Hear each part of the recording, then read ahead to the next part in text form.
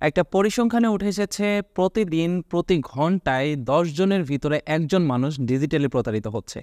বর্তমানে কিন্তু আমরা ডিজিটাল যুগে বসবাস করছি। আর এই ডিজিটাল যুগে এসে যদি আপনি ডিজিটাল প্রতারণা সম্পর্কে ধারণা না রাখেন, তাহলে কিন্তু আপনি নিজেও সেই দশ জনের একজন হতে পারেন। তাই রিকোয়েস্ট থাকবে আজকের ভিডিওটি শেষ পর্যন্ত দেখুন। তার কারণ আজকের ভিডিওতে আমি আপনাদেরকে ডিজিটাল প্রতারণার নতুন দুইটা ফাঁদ সম্পর্কে ধারণা দেওয়ার চেষ্টা করব। যে দুইটা ফাঁদে যারা পা দিয়েছে, তারা ইতিমধ্যে নিঃস্ব হয়েছে। তাই আপনাদেরও এই বিষয়টা জানা উচিত। যদি আগে থেকে এই ফাঁদ সম্পর্কে আপনার ধারণা থাকে, তাহলে আপনি কিন্তু এই সমস্যা থেকে বা এই প্রতারণার ফাঁদ থেকে বেঁচে যেতে পারেন এবং আপনার প্রতিবেশী যারা রয়েছে, তাদেরকেও আপনারা চাইলে সতর্ক করতে পারবেন। ডিজিটাল প্রতারকরা প্রতিনিয়ত তাদের টেকনিক, ট্রিকগুলো চেঞ্জ করে করে বিভিন্ন ধরনের প্রতারণার ফাঁদ তৈরি করে। যেই ফাঁদগুলোতে সাধারণ, সরল, সহজ মানুষগুলো পড়ে এবং তাদেরকে নিঃস্ব করে দেয় আর্থিকভাবে। বর্তমানে একদল প্রতারক চক্র ইউনিয়ন পরিষদের যে ইউপি সদস্য রয়েছে মেম্বার, তাদেরকে দিয়ে প্রতারণা কার্যক্রম চালাচ্ছে। এই বিষয়টা ইউনিয়ন পরিষদের যে মেম্বার রয়েছে, তারা কিন্তু বুঝতেও পারে না যে তারা প্রতারণার একটা অংশ হচ্ছে। একটা ইউনিয়ন পরিষদে কিন্তু অনেকগুলো ওয়ার্ড থাকে। প্রত্যেকটা ওয়ার্ডে কিন্তু একটা করে মেম্বার থাকে। সেই মেম্বারের মাধ্যমেই কিন্তু ইউনিয়ন পরিষদের সেই ওয়ার্ডের যতগুলো অনুদান রয়েছে, সেগুলো কিন্তু সাধারণ জনগণের কাছে পৌঁছায়। যেমন বয়স্ক ভাতা বিধবা ভাতা অথবা মাতৃকালীন ভাতা। এই সকল বিষয়গুলো কিন্তু, এই সকল অনুদানগুলো কিন্তু একজন ইউপি সদস্য বা ওয়ার্ড মেম্বারই কিন্তু সাধারণ জনগণের কাছে পৌঁছে দেয়। এই সুযোগটাই কাজে লাগাচ্ছে একদল প্রতারক চক্র।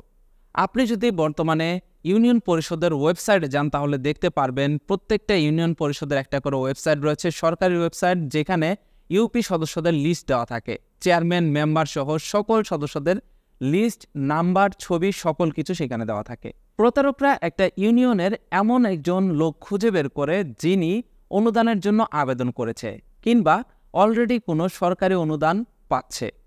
ওই ব্যক্তিকে টার্গেট করার পর ওই ব্যক্তি যে ওয়ার্ডে বসবাস করে সেই ওয়ার্ডের নাম্বার ওয়েবসাইট থেকে খুঁজে নেয়। সেই ওয়ার্ডের যে মেম্বার রয়েছে তার নাম্বার ওয়েবসাইট থেকে প্রতারক চক্র নিয়ে নেয়। তারপর মেম্বারকে সরাসরি তারা কল করে। কল করে প্রতারক চক্ররা বলে, আমি উপজেলা অমুক কর্মকর্তা বলছি। বা যে কোনো একটা বড় কর্মকর্তার পরিচয় দেয়, দিয়ে বলে, আপনি অমুক মেম্বার, অমুক ইউনিয়নের। তাই তো? তো তিনি অবশ্যই বলবে যে হ্যাঁ আমি অমুক মেম্বার, অমুক ইউনিয়নের। তখন তাকে বলা হয় যে, আপনার এলাকার যে অমুক ব্যক্তিটি রয়েছে যে এই অনুদানটির জন্য আবেদন করেছিল, তার আবেদনটি অ্যাপ্রুভ হয়েছে। তাকে একটু বলুন আমার এই নাম্বারে ফোন করতে। ইউপি সদস্য কিন্তু খুব খুশি হয়ে সেই ব্যক্তিটিকে জানিয়ে দেবে যে আপনার যে আবেদনটা করেছিলেন অনুদানের জন্য সেই আবেদনটি অ্যাপ্রুভ হয়েছে, অমুক কর্মকর্তা আপনাকে তার সাথে যোগাযোগ করতে বলল। এখন একজন ইউপি সদস্য যদি তার ওয়ার্ডের একজন সাধারণ জনগণকে এই কথা বলে, তাহলে কিন্তু সে অবশ্যই সেটা বিশ্বাস করবে এবং সেই ব্যক্তি যা বলবে, ওই লোক কিন্তু তাই করবে অনুদান পাওয়ার জন্য। এখন ইউপি সদস্যের মাধ্যমে কিন্তু তার কাছে নাম্বারটি পৌঁছালো। এখন আপনি নিজেই প্রতারকের কাছে ফোন দিবেন।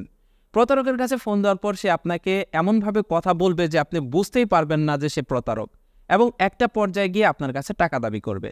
যখন আপনি অনুদান পাওয়ার জন্য বা যে কোনো সেবা বা যে কোনো সুবিধা পাওয়ার জন্য সেই টাকাটা লেনদেন করবেন, তখনই আপনি মূলত প্রতারিত হবে আশা করছি আমি বিষয়টা আপনাদেরকে বোঝাতে পেরেছি।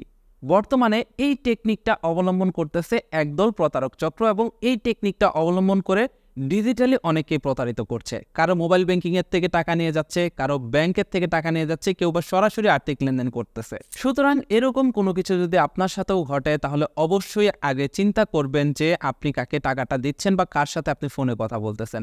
বিশেষ করে কোনো ইউপি সদস্য যদি আমার এই ভিডিওটা দেখে থাকেন, বিশেষ করে ওয়ার্ড মেম্বাররা যদি দেখে থাকেন, তারা অবশ্যই একটা বিষয় খেয়াল করবেন, যারা আপনাকে কল করতেছে, তারা মূলত কোথা থেকে কল করতেছে? উপজেলা থেকে কল করতেছে নাকি অন্য কোথাও থেকে কল করতেছে? যদি উপজেলা থেকে কল করে থাকে, তাহলে আগে ভালোভাবে তার পরিচয়টা জানুন অরিজিনালি দেখুন যে ওই কর্মকর্তা ওই নামের কর্মকর্তা আছে কিনা বা তার নাম্বার ওইটা কিনা। তারপর আপনি সাধারণ জনগণ বা যার কথা বলবে তাকে আপনি বলুন যে তার সাথে যোগাযোগ করতে। এরকম বেশ কয়েকটা ঘটনা আমি শুনেছি, যার কারণে আমি মনে করলাম যে এই বিষয়টা আপনাদের জানানো উচিত। তার কারণ আমার চ্যানেলে আমি বিভিন্ন ধরনের ডিজিটাল প্রতারণা নিয়ে ভিডিও তৈরি করে থাকি, যাতে আপনারা সুরক্ষিত থাকতে পারেন, আপনারা এই বিষয়গুলো জানতে পারেন এবং আমার সাবস্ক্রাইবাররা যেন এই ডিজিটাল প্রতারণা শিকার না হয়। আপনাদেরকে ভিডিও শুরুতে বলেছিলাম যে দুইটা প্রতারণার ফাঁদের কথা বলব। এইটা ছিল একটা ফাঁদ। এরপর বলি আরেকটা ফাঁদের কথা। বর্তমানে আপনারা অনেকেই হয়তোবা চাকরি পাচ্ছেন। বিষয়টা শুনে আপনারা হয়তোবা হাসবেন। তার কারণ, আপনাদের ভিতরে অনেকেই দেখবেন, আপনি না পেলেও আপনার বন্ধুবান্ধবের ভিতরে অনেকেই এই স্ক্রিনশটটা বা এই মেসেজটা পেয়েছে, যে স্ক্রিনশটটা এই মুহূর্তে দেখতে পাচ্ছেন। যেখানে লেখা রয়েছে, আপনার সিবি অ্যাপ্রুভ হয়েছে, আপনার বেতন এত টাকা, আপনি এই নাম্বারে যোগাযোগ করুন। এই ধরনের মেসেজগুলো ম্যাক্সিমামই যারা বেকার, তাদের ফোনে এসে থাকে এবং যারা জব করতেছে বা জব খুঁজতেছে, এই ধরনের ব্যক্তি যারা আছে, তাদেরকে মূলত এই ধরনের মেসেজ দেওয়া হয়। এবং প্রতারকরা তাদেরকেই টার্গেট করে থাকে। যখন একটা বেকার যুবক চাকরির জন্য হন্য হয়ে ঘুরতেছে, তখন যদি তার ফোনে এরকম একটা মেসেজ আসে, তখন কিন্তু সে একটা আশার আলো দেখবে। সে ভাববে হয়তো বা এখানে কল করলে বা এখানে যোগাযোগ করলে আমার একটা চাকরি হবে। যখন একজন ব্যক্তি এই নাম্বারটিতে যোগাযোগ করে, সর্বপ্রথম তারা প্রফেশনালি তাদেরকে জিজ্ঞাসা করে, আগে আপনি আপনার কাগজপত্রগুলো দিন, আপনার যে যোগ্যতা রয়েছে সেটা আগে আমরা যাচাই করব, তারপর আমরা সিদ্ধান্ত নেব যে আপনাকে কোন লেভেলে চাকরিটা দেওয়া যায়। এইভাবে আপনাদের সাথে শুরু করবে। তারপর আপনার ডকুমেন্ট নিবে, কাগজপত্র নেবে সব কিছু দেখবে। দেখার পর শুরুতে আপনার কাছে ছোট্ট একটা ফিস চাইবে অ্যাপ্লিকেশন ফিস তারপরে যে কোনো একটা কাজের কথা বলে আপনার কাছে আরও টাকা দাবি করবে। এভাবে যতক্ষণ পর্যন্ত পারবে আপনার কাছ থেকে বিভিন্নভাবে অর্থ হাতিয়ে নেবে।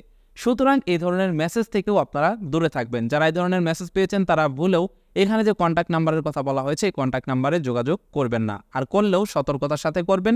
বেকার যুবকদের কাছে একটা রিকোয়েস্ট থাকবে, আপনারা যদি কোথাও জব করতে যান বা জব খুঁজতে যান, বিশেষ করে বর্তমানে অনলাইনে আর্নিং করার প্রবণতাটা যুবকদের ভিতরে বেশি রয়েছে।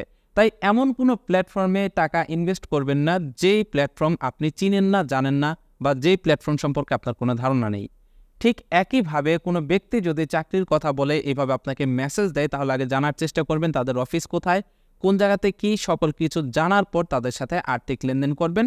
আর বেশিরভাগ সময় চেষ্টা করবেন আর্থিক লেনদেন ছাড়া যে কোনো কাজ করার। তো মূলত এটাই ছিল আজকের ভিডিও। আশা করছি আমার এই ভিডিওটা আপনাদেরকে কিছুটা হলেও উপকৃত করতে পারবে। এই ভিডিওটা অবশ্যই আপনার ফেসবুক অথবা বিভিন্ন সোশ্যাল মিডিয়াতে শেয়ার করবেন। তার কারণ এই ভিডিওটা দেখে হয়তোবা আপনার দেখা দেখে অন্য আরেকজন ব্যক্তি উপকৃত হতে পারবে। আর এই ধরনের ডিজিটাল প্রতারণার ফাঁদ সম্পর্কে জানতে আমাদের চ্যানেলটি সাবস্ক্রাইব করে পাশের নোটিফিকেশন বেলটি অন করে রাখুন। ভালো থাকুন সুস্থ থাকুন। দেখা হচ্ছে পরবর্তী কোনো ভিডিওতে। আল্লাহ হাফেজ।